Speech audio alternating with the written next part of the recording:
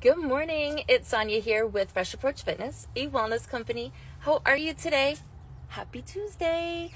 Listen, what is your word of the day on Transformation Tuesday from yesterday?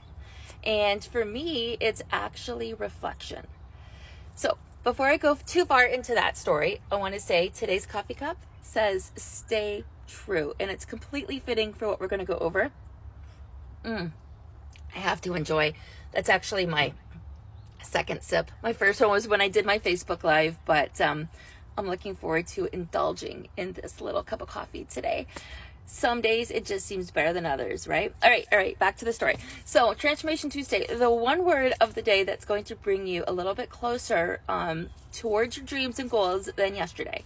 So, for me, it's reflection. And I want to start by saying how many of you sign up for newsletters and have them just sit there in your inbox? Right? I've got 12,000 unread messages. There's quite a bit in there. But something caught my eye yesterday and I decided to participate in it. And it was about setting myself up for success for 2022.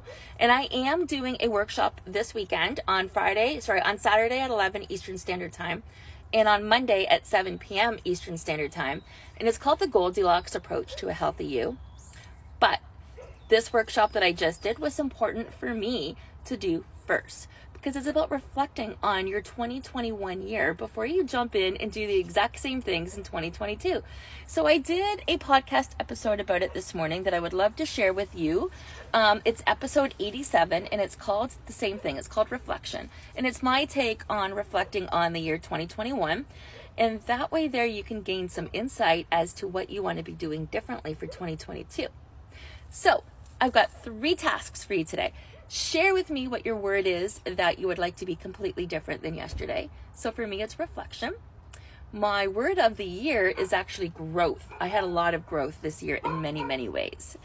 Um, the second thing, I would love to have you sign up for the free workshop. You've got nothing to lose. And if you want your story to change, if you want to conquer more of those goals and do more than just what you've done last year or in the years before, then definitely sign up. If you absolutely can't make it, catch the recording. But guys, this is your life. This is your schedule. This is your calendar. You should be making you a priority. And the third point is listen to the podcast. I'd love to get your feedback and insight on this week's podcast called Reflections.